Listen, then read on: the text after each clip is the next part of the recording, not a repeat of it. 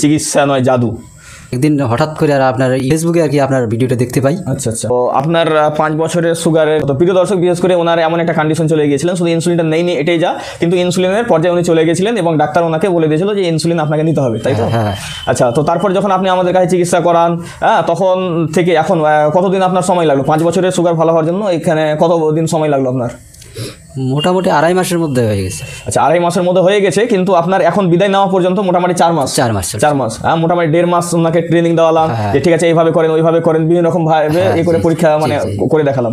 তো প্রিয় দর্শক বিশেষ করে উনি ওনার জন্য আমরা কিছু রিপোর্টও করেছিলাম বিশেষ করে আমরা সিপেপটাইড হোমায়ার এসবগুলো আমরা রিপোর্ট এগুলো আমরা করেছিলাম হ্যাঁ। তো কারণ হচ্ছে কি যে আমরা এগুলো সব আমরা রিপোর্ট করেছি, তারপর আরও রিপোর্ট আছে ওনার ইয়ে করা। তো মূলত এখানে বিষয় যেটা হচ্ছে কি যে এই যে উনি যে আমাদের কাছ থেকে যে এখান থেকে যে আলহামদুলিল্লাহ ভালো হলেন হ্যাঁ?